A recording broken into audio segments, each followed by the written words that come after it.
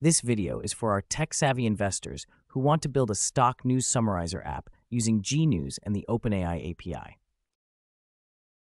First, we will check with ChatGPT if GNews is free. They have a free tier that allows pulling a certain number of articles per day.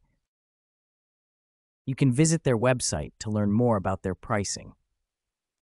First, we will create an account and log in to GNews to generate an API key.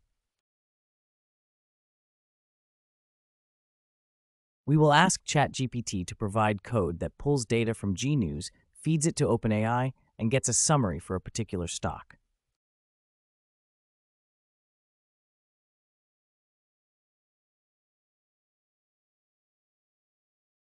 We will run this code on Google Colab. You can choose to run it in any Python environment that has internet access to connect to the OpenAI and GNews APIs. We need to ensure we have an OpenAI API key, which you can easily create on their website.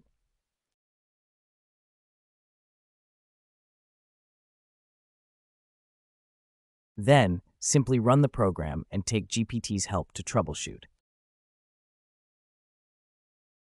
Now the program is running, and we can pass a ticker symbol to get recent news.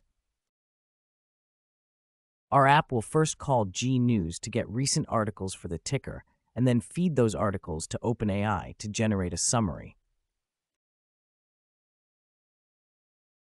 Here we can see all the recent news summaries about NVIDIA. You can build an API wrapper on top of this and integrate it with your existing products.